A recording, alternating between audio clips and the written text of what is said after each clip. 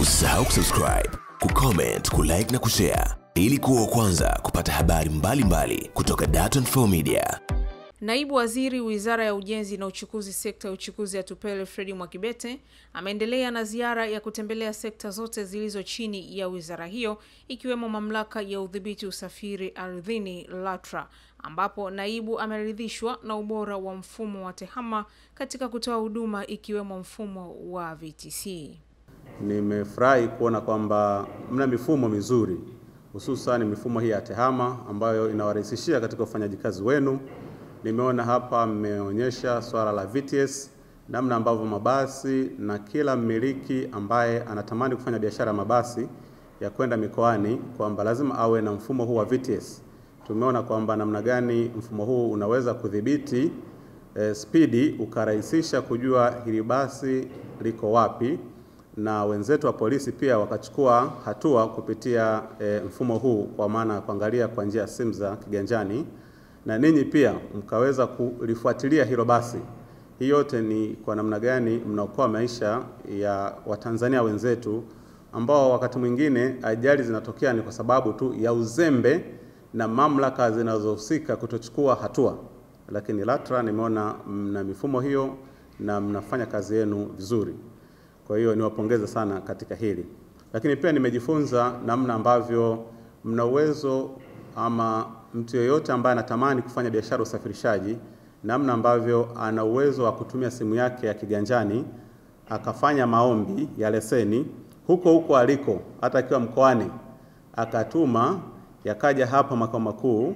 Nimeona vijana wanavyoingiza taarifa pale, nimeona ambavyo leseni zinapatikana na mnavyotoa mrejesho kwa hawa ambao wameomba kama mikidhi vigezo. Lakini wa mikoani, tafsiri yake mmeniambia wanachukua leseni wakiwa huko huko mikoani, hawana sababu tena ya kutumia muda mwingi na gharama nyingi kuja hapa Dar es Salaam. Nafikiri hayo ni mabadiliko mazuri. Aidha, naibu waziri amewahasa LATRA kuendelea kutoa elimu ya usafirishaji kwa wananchi ikiwemo elimu ya tiketi mtandao. Elimu hii sasa iwafikie wananchi wengi zaidi, wajue ya kwamba hata sasa kuna tiketi mtandao, licha kwamba ipo katika eh, eh, mazungumzo. Nina hakika tutafikia mazungumzo ya mwisho ili mtu akiwa pale pale nyumbani anakata tiketi yake anasafiri anakotaka pasipo kutumia walanguzi, hasa hasa wanapokwenda abiria anapokwenda kwenye vituo vya mabasi, pale ndipo utapeli unapoanzia. Lakini kama tutaboresha mifumo yetu hii ya mifumo ya ticketing na kuelimisha pia wamiliki wa mabasi, itaturahisishia sana kwa upande wa serikali kuondokana na malalamiko ya wananchi kwamba mimi tiketi yangu nimempa elfu sabini lakini kwenye tiketi imeandikwa pengine elfu thelathini kwa maanake zile fedha zingine zinachukuliwa na wajanja tu hapo katikati.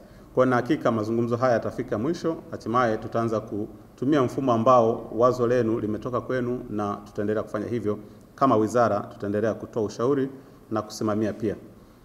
Lakini pia nimejifunza namna ambavyo mna ushirikiano na taasisi zingine zenye mamlaka ndani ya nchi kama jeshi la polisi e, pamoja na wenzetu wa NIDA na maeneo mengine mbalimbali na wadau mbalimbali kwamba hii taasisi ili, ili hii sekta ikue lazima kuwe na mashirikiano mazuri.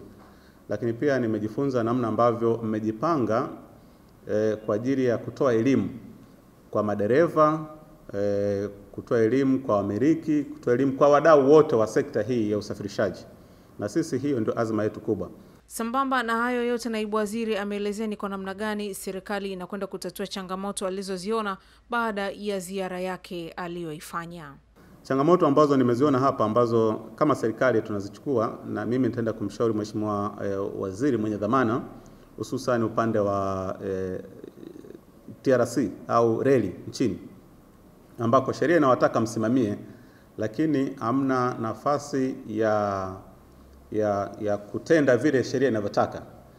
E, na ukizingatia pia baadhi ya maeneo sasa hivi tunatengeneza standard gauge railway ambayo ndio itakuwa mkombozi mkubwa wa Mtanzania yeyote yule, na tunataka tufikie malengo ya kusafirisha mizigo yote katika nchi jirani ikiwemo Rwanda, Burundi, Kongo mpaka Zambia, Malawi, ili bandari yetu ya Dar es Salaam iweze kufikia kiwango cha kuingiza na kutoa mizigo.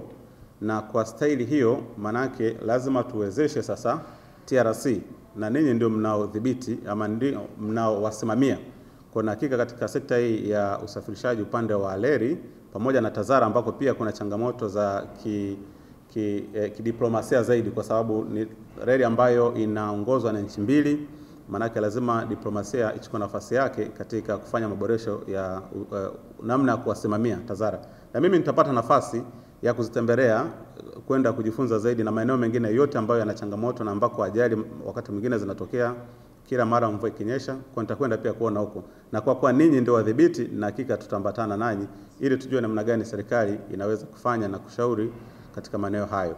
Kwa hayo na mengine mengi, endelea kutembelea mitandao ya kijamii Facebook, Twitter pamoja na Instagram, andika Dar24 News, lakini pia tembelea YouTube channel yetu, andika Dar24 Media. Bila kusahau kupitia simu yako ya mkononi unaweza ukapakua app ya Dar24 ili uweze kupata maelezo yote kuhusiana na Dar24 Media, taarifa bila mipaka.